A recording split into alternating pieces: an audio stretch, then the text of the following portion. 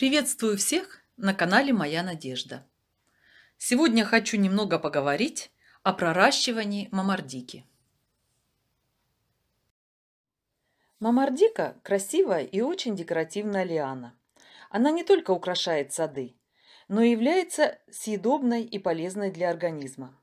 Ее листья и молодые побеги можно использовать в салаты, супы. Плоды широко используются в народной медицине. В выращивании лиана не очень капризна. Главное, нужно ей обеспечить опору, потому что за сезон вверх она вырастает где-то до двух с половиной, даже выше метров.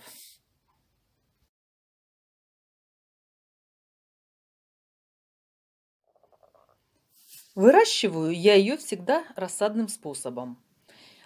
Ее семена с очень плотной оболочкой и без скарификации они прорастать будут очень-очень долго.